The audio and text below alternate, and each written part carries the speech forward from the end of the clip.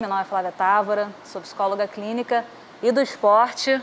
Tenho uma parceria com a Pirâmide. Achei interessante trazer uns tópicos para a gente, é, para falar um pouco da ansiedade para a competição.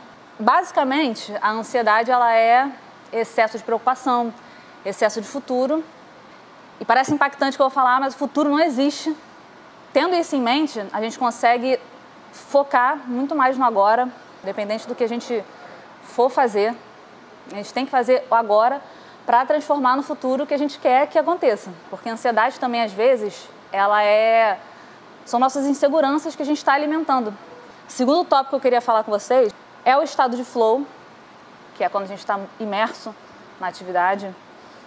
E é fácil da gente entrar nesse estado de flow, tanto num treino quanto numa competição. Porém, a gente tem que ter consciência de que a nossa preparação, a nossa habilidade e o desafio que a gente vai enfrentar tem que estar em harmonia. Então essa é a consciência que a gente precisa ter para a gente também entrar no estado de flow. Terceiro tópico que eu queria tocar, a gestão das nossas emoções. É muito importante também que a gente não chegue em competições, em desafios, em dias importantes, com as nossas emoções muito afloradas. Nossas emoções elas são muito imprevisíveis. E como que a gente faz para gerenciar essas emoções? É reconhecer o que a gente está sentindo.